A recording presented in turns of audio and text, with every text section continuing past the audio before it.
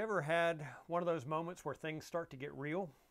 Where something that's just been talked about finally starts to become a reality? Well, it's happening around here. I'm here in Doug's office and things are looking a little different than they did even just last week. He's starting to pack up. What has just been talked about, his retirement, at, you know, after Easter, is now upon us. Things are getting real. It, what had seemed a long way off is now just a few weeks away. I think that Jesus' disciples probably could relate to that kind of feeling where something that seemed far off uh, became a reality. And, and I'm not really sure that the potential of Jesus' absence ever really dawned on the disciples uh, or were on their minds much before his crucifixion and resurrection. The Gospels are filled with lots of stories of clueless disciples.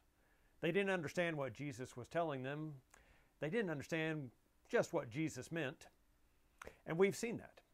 Here at Northway, we've been looking at the Gospel of Luke from the Advent to, to the present, to, to Easter.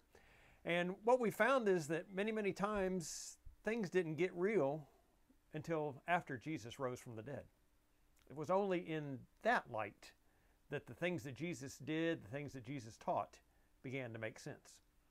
So, before we box up this series on Luke, we're going to go back and look at a couple of stories in the Gospel of Luke, a couple of stories where the disciples just didn't get what Jesus was saying.